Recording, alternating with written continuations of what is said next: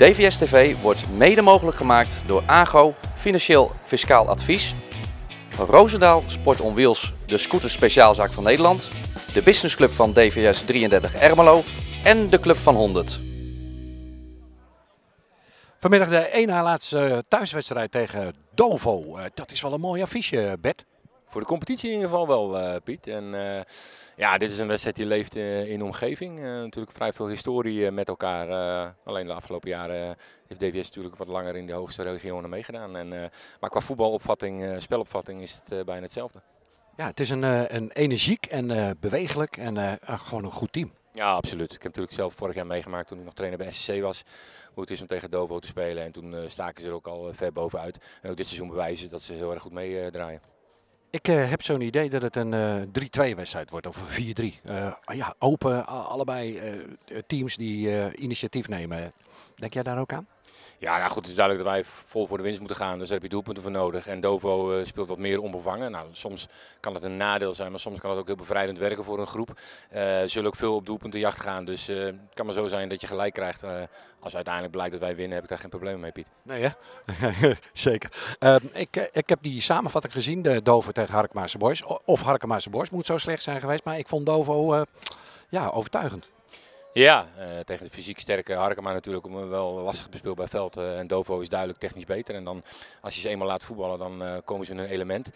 daarvoor zijn we ook gewaarschuwd voor vandaag natuurlijk. Want dat betekent dat er heel veel potentie in die groep zit. Wij kennen jou als een trainer die heel vaak voor dezelfde basis heeft gekozen.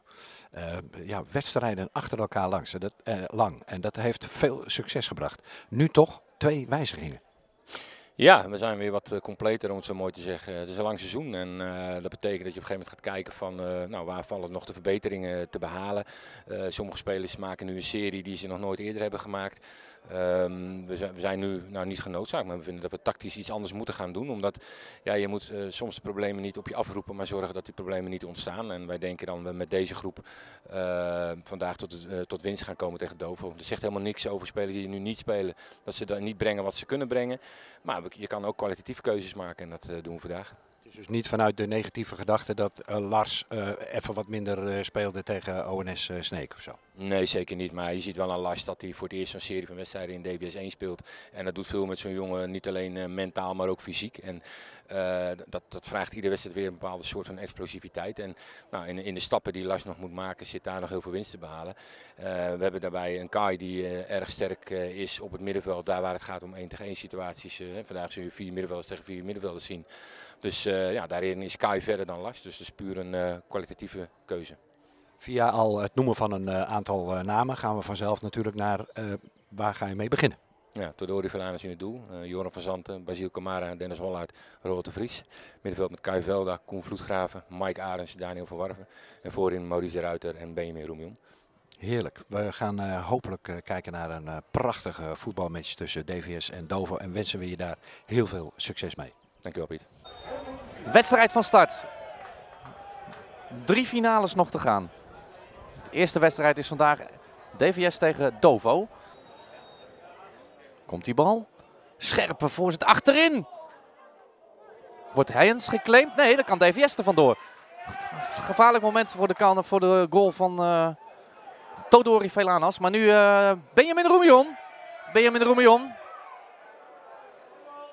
Verdient daar een uh, hoekschop mee. Maar die bal was te hard. Via Todori Veilanas de bal bij Basil Kamara. Joran van Zanten. Joran van Zanten daar in de fout. En uh, goed uh, optreden daar van de captain van uh, DVS. Joran die slikte zich even in die Salim Amarsgiu. En moest daar even aan de handrem treppen. Maar goed, het knijpen was van de captain van DVS, Dennis Hollard. Die dat goed inzag, het gevaar. Eerste 10 minuten waar uh, toch heel veel al uh, gebeurd is. Een uh, Dovo wat vrij veel initiatief grijpt. En DVS 33 wat er zo nu en dan uitkwam. En nu een corner. Mike Arends. Mike Arends. Nee. Even kijken wat er gebeurt. Ja, weer een hoekschop. Een van de spelers van Dovo of de keeper die hem het laatste aanraakte. Koen Hagelstein. En nu weer Mike Arends. Komt die bal. Veel beweging daar. Ja, ja, ja, ja, ja, ja. Hij zit erin. Via het hoofd van uh, Maurice de Ruiter. En ook, uh, of Basiel. Dat weet ik niet, maar... Of, of een verdediger. Maar het is, uh, het is echt... we gaan het even bekijken. Het kan, hè? Ja, het kan zomaar. Wij denken Basiel Camara dat hij gescoord heeft uiteindelijk. Ja, Net even de beelden teruggekeken. Het is een uh, eigen doelpunt van uh, Dovo. Niet Basil Camara. Maar natuurlijk mag hij dan uh, heel hard daarom juichen. Maar Bas Mooi die de eigen goalie van Dovo verschalkt. Roemion. Maurice de Ruiter. Precies in de voetjes van Roemion. Kijk, die bal komt. Oh, Maurice de Ruiter, wat een aanname zeg. En een stiefje. Wat een fantastische goal. Oh, ongelooflijk. Wat is die in vorm? Wat is die in vorm? Die aanname voordat hij die strafschop ingaat. Die versnelling en dan het stiftje. Fantastisch. TVS op een 2-0 voorsprong. Na 16 minuten voetballen.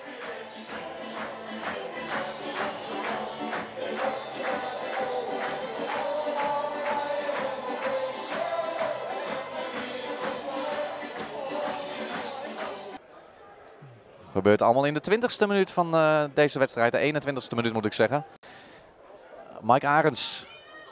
Oh, wat een heerlijke kopstoot van uh, de captain Dennis Hollard. Net over de goal van uh, keeper Koen Hagelstein. Gaat hij het op de inlopende spelers doen of plaatst hij hem direct erin? Heel benieuwd. Heel benieuwd. Zou voor Mike natuurlijk fantastisch zijn als hij hem zelf gaat doen in de rechterbovenhoek, uh, zou ik zo zeggen, Mike. Spanning, spanning. Komt hij. Schot. En, oh, ze riepen hier al, ja, ja, ja. Maar, oh, centimetertje of uh, twee, drie naast de doelpaal. En uh, ja, het was bijna een kopie van een van de vrije trappen van Maurice de Ruiter dit seizoen. Nu Enrico Patrick. Paas op El Azouzi. Maar uh, de passes zijn niet meer zo zuiver. Zijn allemaal in de diepte en zijn allemaal net even iets te hard. Roald de Vries. Kai Velda.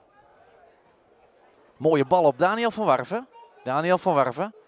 Gaat hij actie maken? Nee, geeft de bal aan uh, Mike Arends. Mike Arends kort gedraaid. Gaat schieten met... Oh, verrassend! Bal van richting veranderd. 3-0. Mike Arends.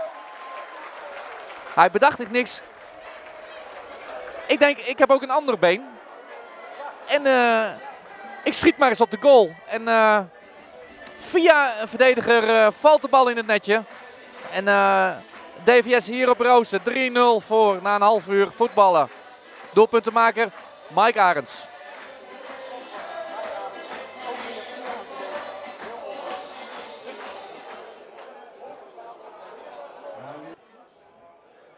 El Azouzi Patrick, Enrico Patrick.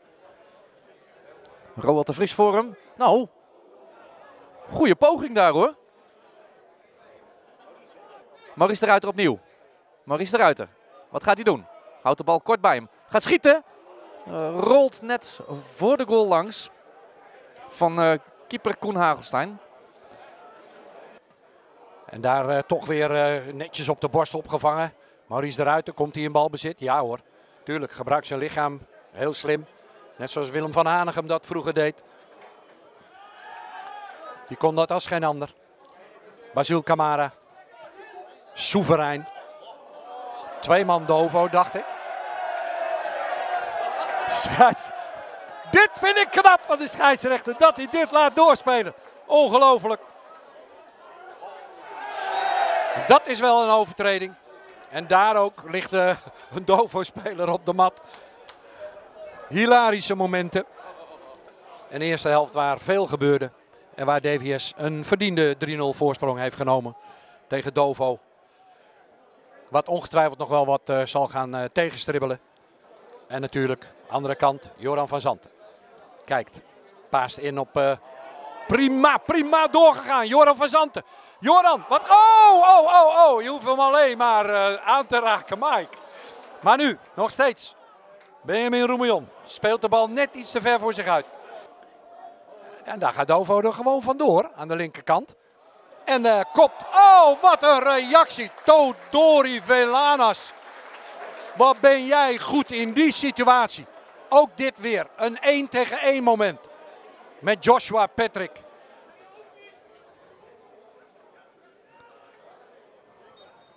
Dat is het laatste fluitsignaal van de scheidsrechter Gansner. We gaan hier rusten met een uh, 3-0 voorsprong voor DVS. Nick Koster met de hoekschop aan de andere kant. Goed, uh, Todori Feilanas. Maurice de Ruiter. Maurice de Ruiter opgejaagd. Geeft de bal aan Benjamin Roemion. Is goede bal. Is hij sneller? Die, die, Patrick is ook snel, maar dan komt er Roemion in de handen van keeper Koen Hagelstein. Nick Koster. Dat is een goede bal van die nummer 14. Maar we hebben Todori Feilanas. Schot was van uh, Joey Godet. Maurice de Ruiter. Maurice de Ruiter. Balletje aan een touwtje. Balletje aan een touwtje. Opgevangen daar. Levert een vrije trap op. Gewoon geblokkeerd. Ja. je moet er wel voor staan, anders dan komt hij overal doorheen. Arjen Bakkenes krijgt de vrije trap tegen. Maar ook lange mannen van achterin, van achteruit voor, mee naar voren. Wat gaan ze doen? Keivelda. Oh, de vingertoppen van Koen Hagelstein. Goed genomen vrije trap. Daar uh, probeerde ja, door die Nick Koster is er toch wel wat meer gevaar gekomen. Joshua Patrick, die gaat, wat gaat hij doen? Wat zegt de scheidsrechter? Die geeft Joshua Patrick een gele kaart. Volkomen terecht. Die liet zich daar vallen. Schwalbe van hier tot Tokio. Maurice eruit. Maurice. Ik wou zeggen, wordt het weer tijd voor uh, een van je wervelende acties. Maar nee, hij paast hem ook zo nu en goed. Hij doet weinig dingen fout weer. Benjamin Roemion. Maurice. Maurice. Pas. Schitterend schot. Mooi. Maurice de Ruiter. mooi hakje op uh. Bal op uh, Roemion. Roemion heeft... Uh, Roemion. Roemion aan de voorbij. Roemion. Wat gaat Roemion? Oh, op de lat. Fantastische actie. Aanval ervoor was ook al mooi. Maar hij raakt hier de lat. Dovo, speler in hart en nieren. Nick Koster. Ja, daar staat hij. Bijna. Oh, daar toch uh, echt een scoringskans voor DVS. Maar ze komen er weer uit. Toch het geluk van de ploeg die in de flow zit. Jong Volendam 0-0. Betekent dat als de stand zo blijft, DVS op gelijke hoogte komt in de derde stand van de derde periode. Terwijl Benjamin Roemion er nog even vandoor gaat hier en mail bijna een beste goal maakt. Fantastische actie, hé. Koen Hagelstein moet zich helemaal strekken naar de hoek. Kan die bal net nog pakken. Ja, hij zit hier in extra tijd. 3-0. Is de stand nu, misschien gaat het 4-0 worden. Roemion, Roemion, ja! 4-0, fantastisch. Hij pakt zijn goal weer mee. Hij heeft nog genoeg, genoeg energie over om uh, even lekker dat publiek in te duiken. Die jongens die speciaal voor hem gekomen zijn. En die, uh, waar hij een uh, heerlijk doelpunt voor maakt. En ja, dit zal de eindstand denk ik ook wel blijven. Het is de eindstand. Scheidsrechter Gansner heeft de wedstrijd afgefloten. En DVS links in de hoek wordt er een feestje gevierd. Kai Velda, voor mijn neus. Um, Kai, het is alweer een aardige tijd geleden uh, dat je een volledige wedstrijd hebt gespeeld. Klopt, ja. Dat is uh, ja, sowieso al een maand geleden. kwam natuurlijk omdat ik uh, hier in die wedstrijd tegen Jong Volendam geblesseerd raakte. Toen op een gegeven moment ben ik een week uit geweest en uiteindelijk te vroeg weer begonnen. Ja, en dan zie je dat je net weer in duel komt en dat het weer misgaat. Nou, er kwam erbij dat dan een ontsteking bij kwam en ja, zo heeft het gewoon langer geduurd dan verwacht. Dus hebben ook gezegd, we doen wat rustiger aan en uh, gewoon weer rustig opbouwen. Dus zodoende zeg maar, ben ik afgelopen drie wedstrijden ook ja, rustig gebracht. Ja, nu vandaag dan een hele wedstrijd en ook mooi gelijk weer dat je die lijn van overwinning kunt doortrekken. Ja, absoluut. terwijl iedereen dacht, oh wat zonde dat Lars Dekker eruit wordt gehaald. maar Bert had toch zijn redenen ervoor om, om, toch wat meer kracht op dat middenveld erbij te hebben. Maar je, je, het was niet alleen maar kracht wat je bracht, maar ook intelligent spel. Dat, vind ik. Nou, in eerste instantie wil ik gewoon uh, alle credits aan last geven. Want uh, ja, hij heeft natuurlijk uh, gewoon super goed ingevuld in de wedstrijden. Dat de jongens geblesseerd waren en dat hij dat toch gewoon als jonge jongen wordt neergezet. Dus dat vind ik echt super ja, hoe hij dat zeg maar heeft gedaan. Absoluut, zeer goed dat je dat zegt. Dus, ja, complimenten voor hem daarvoor. Ja, en nu kiest de trainer voor op, ja, in deze situatie zeg maar, ja, om mij daarop te stellen. Dus ja, dan probeer ik net zo als anders dat gewoon zo goed mogelijk voor het team in te vullen is het een beetje bevallen. Ik, eh, ik dacht, uh, nou, wat mij betreft, uh, man of the match KFL daar. Ik vond je goed. Dankjewel. Ik vond gewoon iedereen sterk. Vond wel dat we minder begonnen als team zijnde. Dat kon je ook wel zien, zeg maar, was toch even wennen van hoe gaan we staan en met hun middenvelders en aanvallers. Maar goed, ik denk op een gegeven moment na die 1-0, ja, pakten we dat gewoon hartstikke goed op. En dan zie je dat alles weer bloeit. En dan uh, ja, dat gaat gewoon weer als. En DVS heeft natuurlijk spelers die zomaar uit het niet iets uh, kunnen maken. En uh, ja, dat hebben heel veel tegenstanders niet. En daarom zeggen ze ook, het kan hier spoken. Hè? Het kan hier inderdaad spoeken. Zo, zo zeggen ze dat hier in, in Ermelo. Hè? Maar ik wou je in ieder geval feliciteren met je, met je goede prestatie. Jij, jij legt de nadruk op het team. En ja, met dat team is niks mis mee. En dat team dat wil nog meer.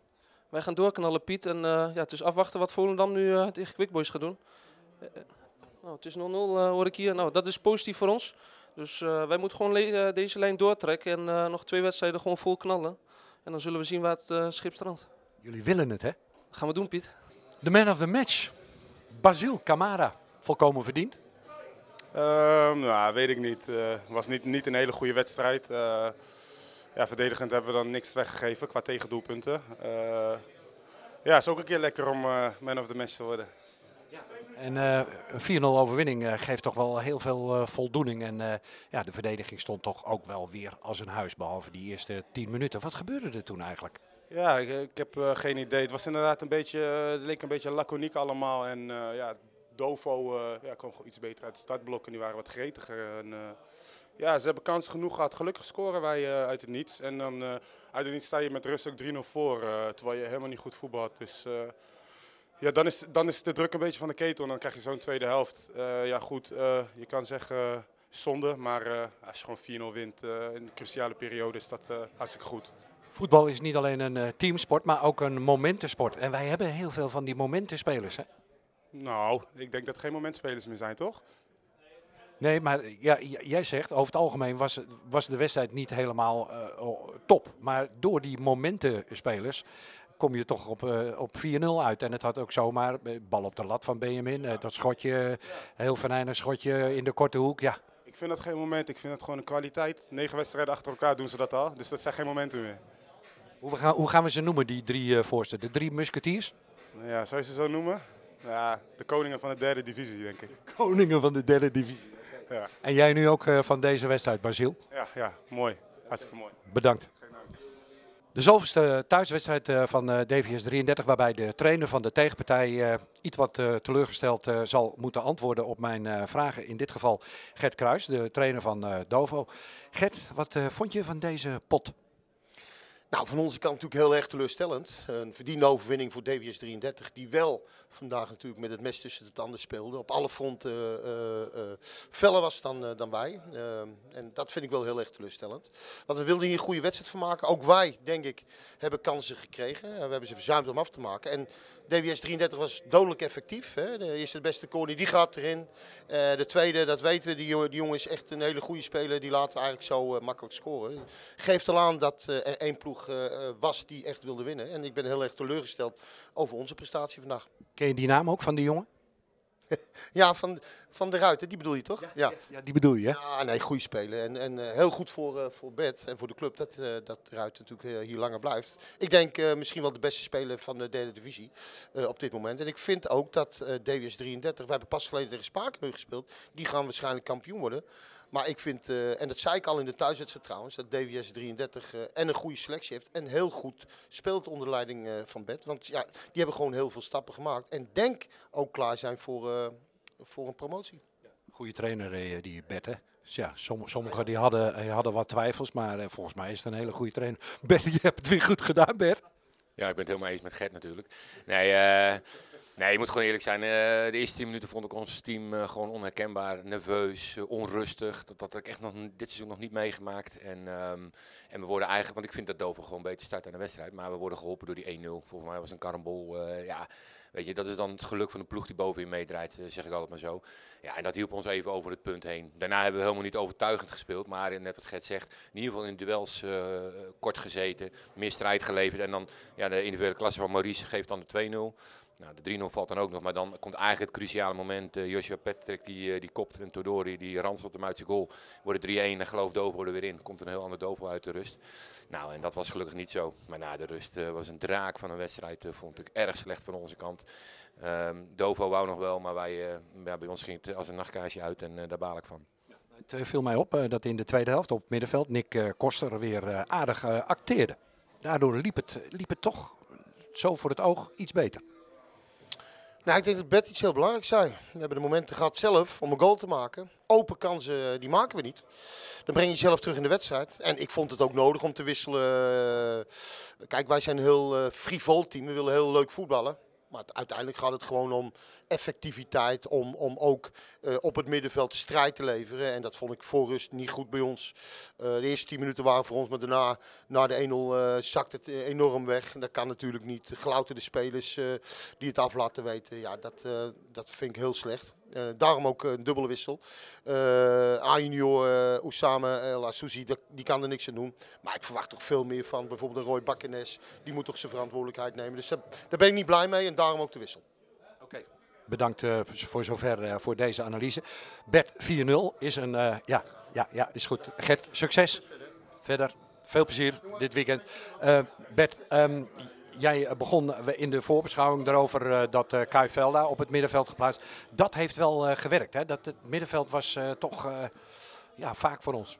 Nou ja, Gert zegt het net al, Roy Bakkenes werd gewisseld. En die speelde bij Kai Velda. En we hadden daar gewoon even power nodig. En ik vond het heel vervelend voor Lasje om een wissel te zetten. Want die jongen doet het gewoon hartstikke goed. Alleen deze wedstrijd vroeg even om andere kwaliteiten. En Kai heeft het goed ingevuld. die nam de groep op sleeptouw op het middenveld, vond ik. Dus in die, in die zin is die wissel goed uitgepakt. Ehm, maar goed, nogmaals, ja, de eerste helft waren we ontzettend effectief en uh, dat heeft ons er doorheen getrokken. Uh, voetballend vind ik niet dat we onze beste wedstrijd hebben gespeeld. Uh, maar ja, goed jongens, we hebben het over ijs in het seizoen, pittig. het geloof is groot binnen deze groep. Ik geloof dat er 64 ballen over de zijlijn zijn gerost. We wouden gewoon heel graag winnen en dan maar zo een keer hoor. 4-0 overwinning. En dan, uh, ja, het was niet onze beste wedstrijd. Ja, Bert, waar gaat het allemaal uh, naartoe? Uh, ja, volgens mij ben je uiteindelijk toch, ja, toch een hele slimme trainer. En ja, ben ik in ieder geval blij dat je voor DVS behouden bent. Ja, dat zijn mooie woorden, maar je weet dat ik dat nooit naar mezelf toe zou trekken. We doen het met een fantastische staf. Uh, de teammanager, de leider, uh, medische staf en natuurlijk Marcel Kamp als assistent. We praten er veel over. Maar het belangrijkste is gewoon dat de jongens geloven in de, in de missie die we hebben. En uh, daar hebben ze vandaag weer een stap in gezet. Dat is belangrijk. Het publiek ging er ongelooflijk goed achter staan. Ook juist op dit moment dat we het even niet goed deden, gingen ze erachter staan. Er waren jongens die een mindere wedstrijd speelden. Maar voor vandaag was het nog voldoende. Geweldig. Gefeliciteerd met dit resultaat. Op naar volgende week. Assen. Ja. Op gras, ja.